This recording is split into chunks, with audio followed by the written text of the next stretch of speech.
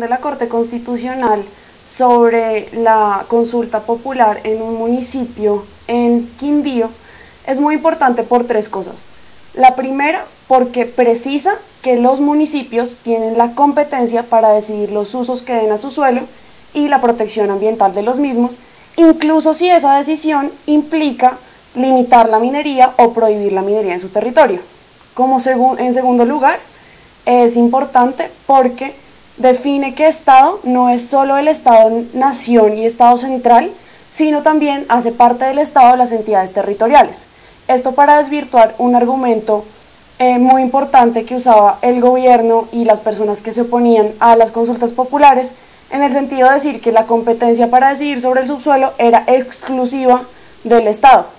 Y en tercer lugar, esta sentencia eh, ordena hacer una mesa interdisciplinaria compuesta por el Ministerio de Ambiente, el Ministerio del Interior, el Instituto Humboldt, Parques Nacionales y la sociedad civil para que se defina los impactos científicos y sociales de la minería en los diferentes ecosistemas en Colombia. Era la línea jurisprudencial que ya venía eh, desarrollando la Corte Constitucional. En 2014, con la C-123, dijo que los municipios tenían la garantía para participar activa, de manera activa y eficaz en las decisiones sobre su territorio.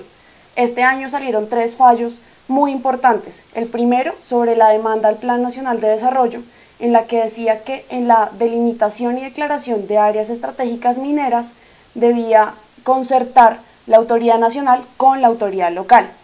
Después de este fallo, se tumbó el artículo 37 del Código de Minas, que establecía una regla conocida como prohibido prohibir, en la que los municipios no podían excluir minería de sus territorios.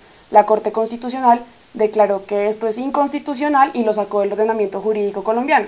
Y ahora este último fallo reitera la idea de que los municipios tienen la potestad de excluir minería de su territorio si esto es contrario a su vocación. Colombia es el segundo país eh, más afectado por conflictos socioambientales después de India. Se han registrado 92 conflictos socioambientales en el país.